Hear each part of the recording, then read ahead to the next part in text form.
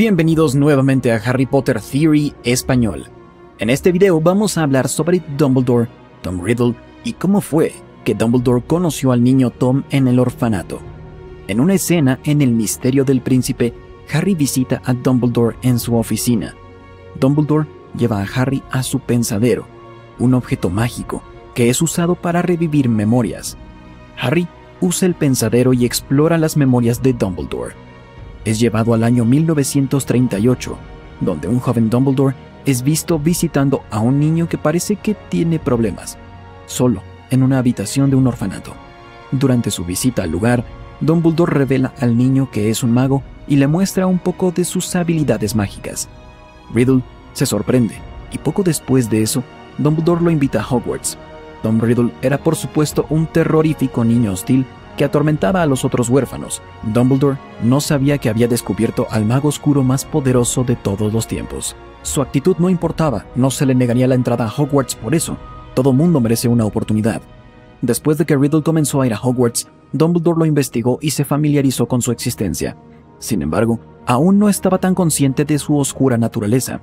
Esto nos lleva a la pregunta, ¿cómo fue que Dumbledore encontró a Riddle en primer lugar? Era un huérfano, para comenzar a dar la respuesta debemos hablar de la pluma de aceptación y el libro de admisión.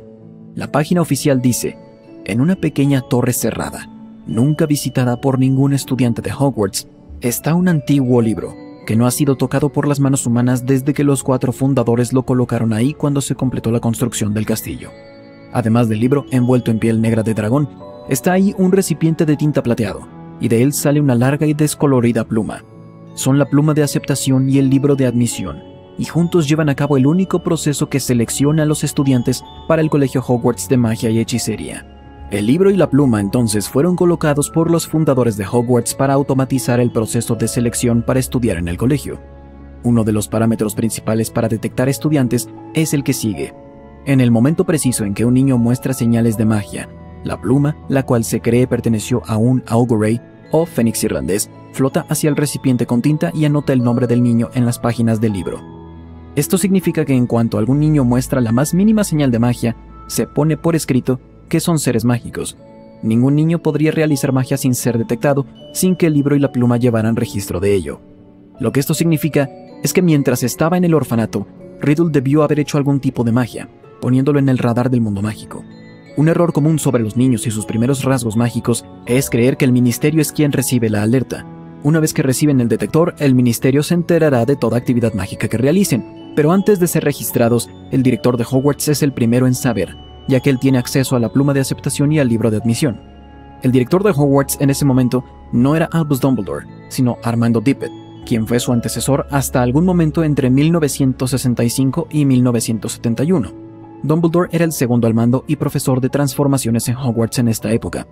Debido a su rol, le daba seguimiento a algunas responsabilidades como McGonagall y ayudaba a informar a los padres de los niños que habían sido aceptados en Hogwarts.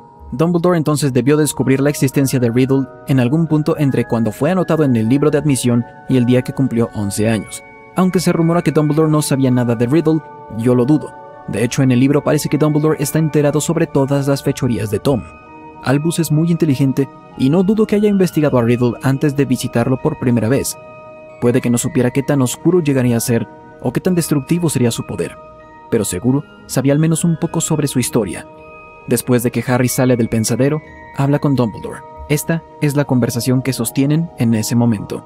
Harry le pregunta, ¿Sabía, señor? ¿Sabía que había conocido al mago oscuro más peligroso de todos los tiempos?